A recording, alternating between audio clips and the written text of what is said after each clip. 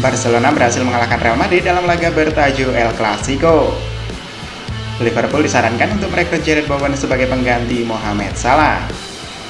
Manchester City dilaporkan siap melepas Julian Alvarez di bursa transfer musim panas ini. Dan inilah berita selengkapnya.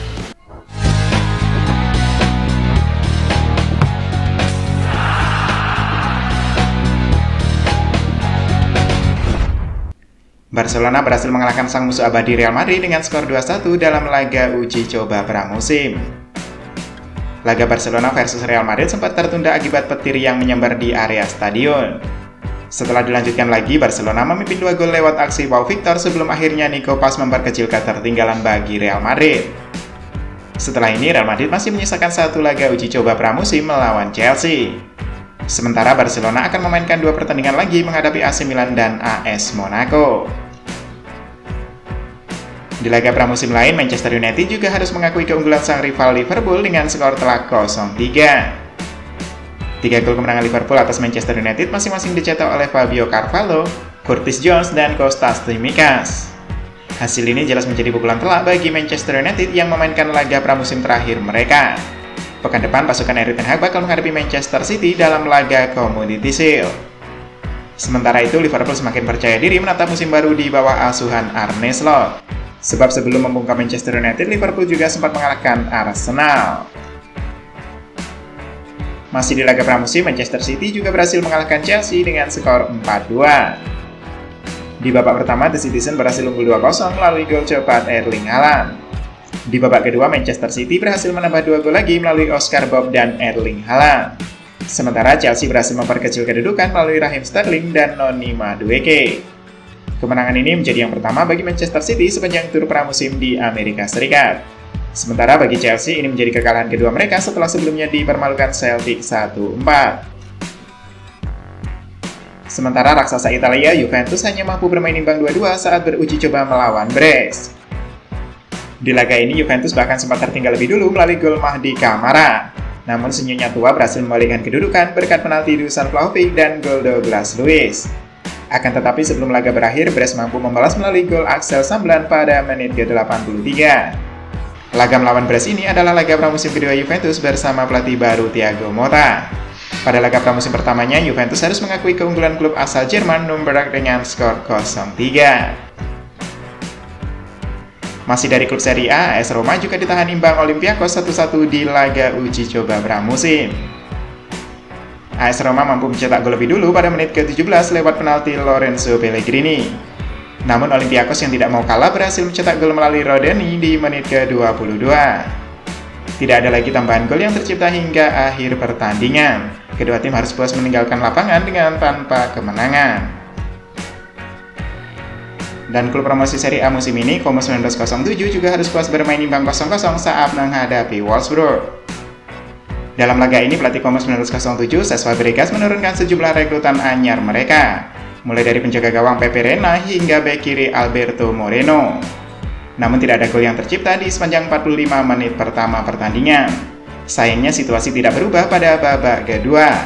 Komos 1907 dan Wolfsburg tidak mampu mencetak satupun gol hingga akhir pertandingan. Ciro Immobile berhasil mencetak gol perdana dan membawa Besiktas juara Piala Super Turki 2024 dengan mengalahkan Galatasaray.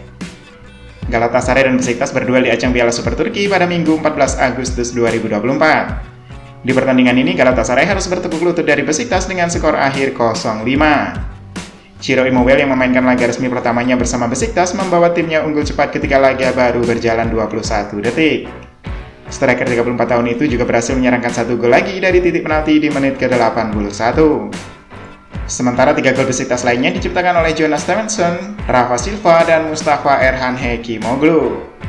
Gelar ini menjadi yang pertama bagi Immobile bersama Besiktas setelah ia pindah dari Lazio di musim panas ini.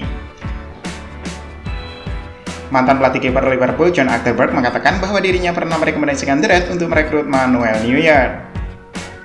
Neuer memulai karir profesionalnya bersama Schalke. Kiper timnas Jerman itu kemudian pindah ke Bayern Munchen pada tahun 2011 lalu. Bersama Bayern Munchen, Neuer berhasil menjelma menjadi kiper terbaik di dunia dan membantu timnya memenangkan banyak gelar juara. Ia memenangkan 11 gelar Bundesliga dan 2 trofi Liga Champions. John Agdelberg pun mengatakan bahwa dirinya pernah merekomendasikan Liverpool untuk merekrut Manuel Neuer saat ia masih membela Selke. Selain Neuer, mantan pelatih kiper Liverpool itu juga merekomendasikan Samir Handanovic yang saat itu masih berseragam Udinese. Michael Owen merekomendasikan Arne Slot untuk merekrut Jared Bowen sebagai pengganti Mohamed Salah. Kontrak Mohamed Salah bersama Liverpool tersisa satu musim lagi. Namun belum ada tanda-tanda ia akan memperpanjang kontrak barunya bersama The Reds. Dan kini pemain berusia 32 tahun itu dikabarkan menjadi incaran sejumlah klub Arab Saudi. Dan Michael Owen menyarankan agar Liverpool merekrut Jared Bowen dari West Ham United.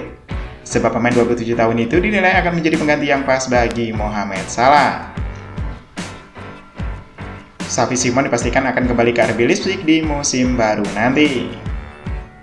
Di musim panas ini, Safi Simon kembali ke PSG setelah masa peminjamannya selesai bersama RB Leipzig dan sejumlah klub top Eropa pun mendekati pemain 21 tahun itu.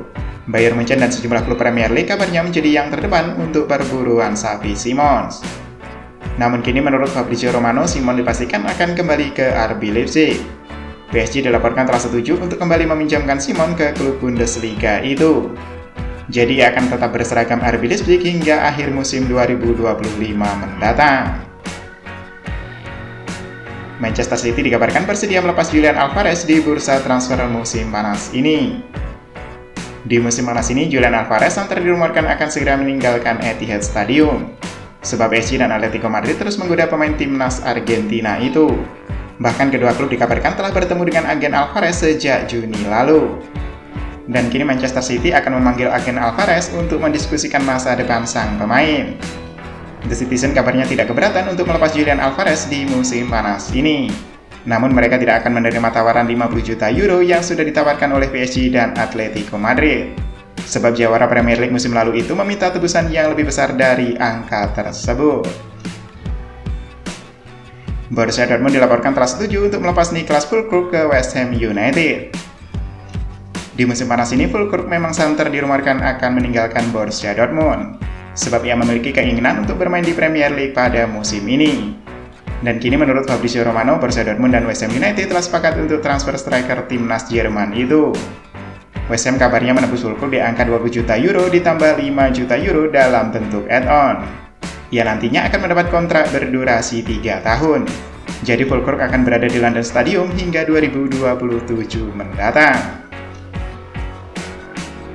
Nah, demikianlah berita kita kali ini. Terima kasih sudah menonton dan jangan lupa untuk terus mendukung channel ini dengan like, share, dan subscribe. Sampai ketemu lagi di video kami selanjutnya.